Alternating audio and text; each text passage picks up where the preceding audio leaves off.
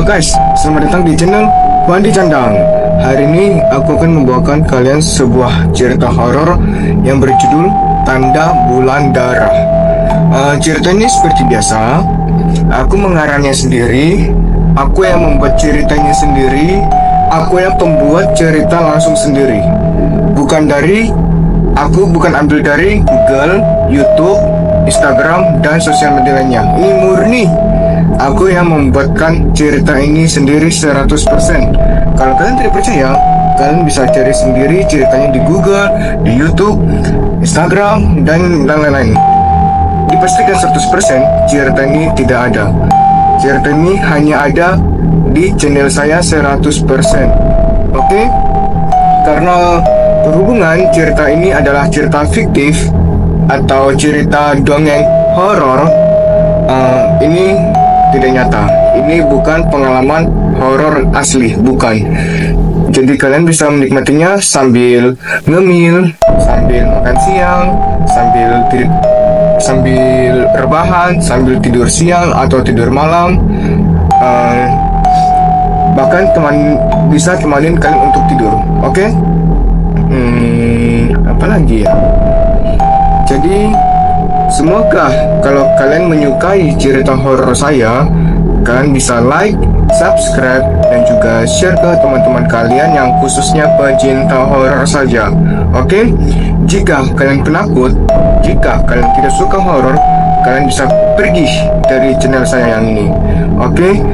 Channel saya khusus buat orang-orang yang pecinta horor sejati. Oke? Itu aja dari saya. Sampai jumpa di next video.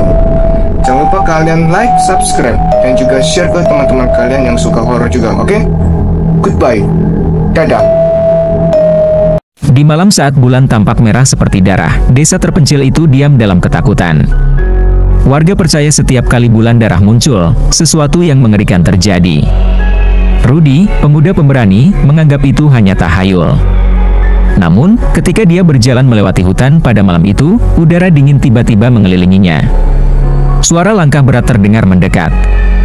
Dari balik kabut, sosok tinggi dengan mata merah menyala muncul, menatapnya. Rudy mencoba berlari, namun kakinya seakan tertahan. Sosok itu mendekat, membisikkan kata-kata yang terdengar seperti kutukan kuno. Malam itu, Rudy tak pernah kembali. Warga menemukan jejak kaki berdarah di bawah sinar bulan yang merah pekat. Pagi berikutnya, warga desa menemukan jejak kaki Rudi yang terhenti di tepi hutan, namun tubuhnya tak ada. Ketakutan mulai merasuki hati semua orang, kecuali Pak Surya, tetua desa yang sudah hidup puluhan tahun. Ia tahu lebih banyak tentang malam-malam bulan darah. Ini bukan pertama kali, katanya dengan suara serak. Rudi telah dipilih, seperti yang lainnya. Malam berikutnya, bulan darah kembali tampak. Suasana desa semakin mencekam. Tiba-tiba, dari hutan terdengar suara jeritan panjang, suara yang tak asing bagi warga. Itu suara Rudi. Para warga berkumpul di tepi hutan, namun tak satu pun berani masuk tanpa peringatan, Rudi muncul dari kegelapan. Namun, ada sesuatu yang salah. Matanya merah menyala, tubuhnya pucat, dan dia berjalan dengan gerakan aneh, kaku. Pak Surya melangkah maju dengan sebuah jimat di tangannya. Itu bukan lagi Rudi, bisiknya. Sosok Rudi berhenti di depan mereka, tersenyum dengan senyum yang tidak manusiawi. Kalian berikutnya, suaranya bergema, serak dan penuh dendam. Tepat saat dia berbicara, bayangan-bayangan dari hutan mulai merayap ke arah desa. Desa seketika menjadi lautan kepanikan. Warga berlari ke rumah masing-masing, mengunci pintu dan jendela. Tapi bayangan-bayangan yang merayap dari hutan tidak bisa dihalangi oleh kayu atau besi. Mereka menyusup masuk, tanpa suara, melintasi celah-celah kecil, dan membuat udara semakin dingin. Pak Surya, dengan jimat di tangannya, mencoba melindungi beberapa warga yang tersisa di alun-alun desa. Ini kutukan kuno, katanya tegas. Hanya ada satu cara untuk menghentikannya, kita harus mencari sumber kekuatan bulan darah itu, di tengah hutan terlarang. Tanpa pilihan lain, sekelompok kecil, termasuk Pak Surya dan beberapa pemuda desa, memutuskan untuk mengikuti petunjuknya. Mereka menyusuri jejak yang ditinggalkan Rudi malam sebelumnya. Hutan terasa semakin gelap, meskipun bulan darah masih menggantung di langit. Memancarkan cahaya merah pekat saat mereka sampai di tengah hutan, mereka menemukan sebuah altar kuno, dikelilingi oleh tengkorak dan simbol-simbol aneh. Di atas altar itu, sebuah batu besar bersinar merah, seolah-olah memancarkan kekuatan bulan darah. Tiba-tiba, Rudi muncul kembali, diiringi oleh sosok-sosok bayangan yang kini lebih jelas. Mereka adalah orang-orang yang hilang selama bertahun-tahun.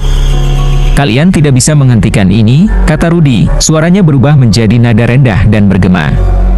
Kita semua sudah menjadi bagian dari kutukan ini. Pak Surya mendekati altar dengan cepat, mencoba menghancurkan batu merah tersebut. Namun, saat tangannya hampir menyentuhnya, sosok-sosok bayangan menyerang.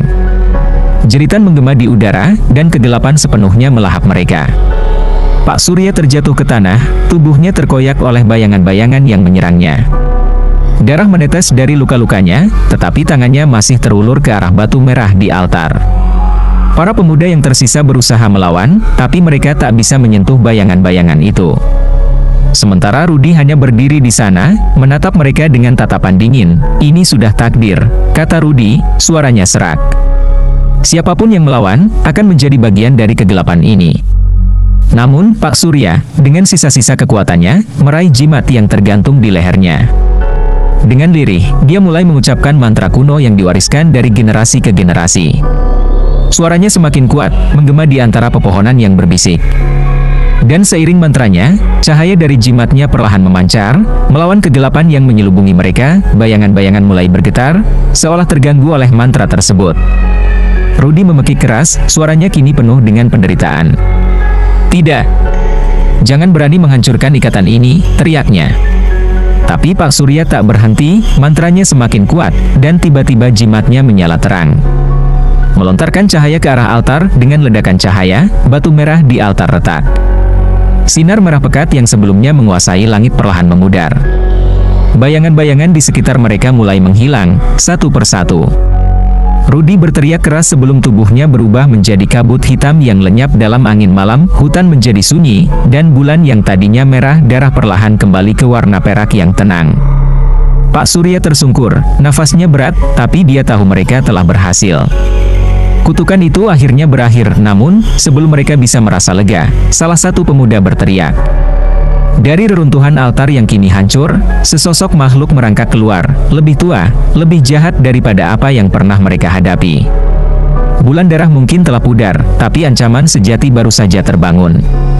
Suara geraman dalam kegelapan itu membuat mereka semua membeku. Sosok yang merangkak keluar dari reruntuhan altar tidak seperti bayangan sebelumnya.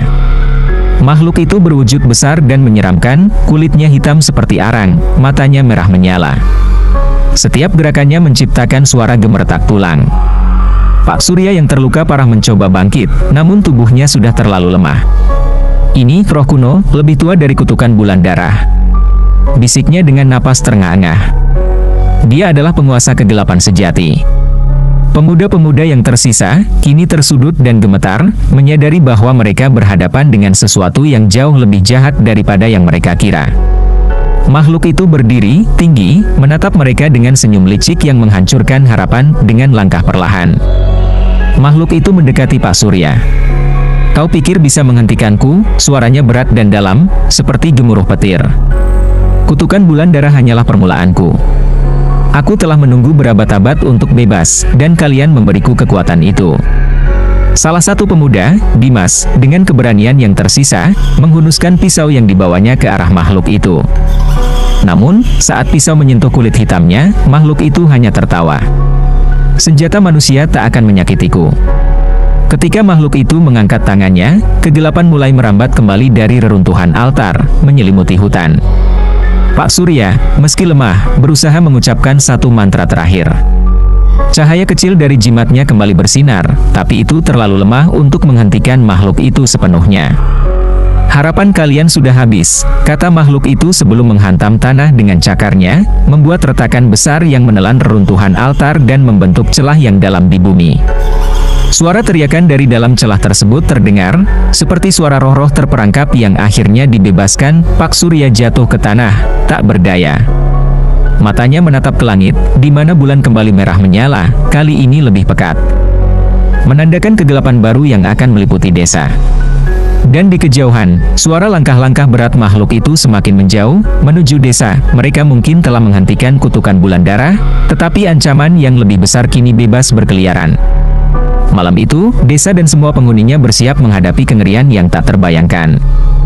Desa kini tenggelam dalam kesunyian mencekam. Udara terasa lebih berat, seakan-akan makhluk yang terbangun dari altar membawa kegelapan yang menghimpit setiap sudut kehidupan. Warga yang masih hidup bersembunyi di rumah masing-masing, berharap kengerian ini hanya mimpi buruk. Namun, di dalam hati mereka tahu, sesuatu yang lebih jahat sedang menghampiri dari jendela kecil. Dimas, satu-satunya pemuda yang selamat, memandang ke arah hutan dengan hati diliputi kecemasan. Dia tahu makhluk itu menuju desa.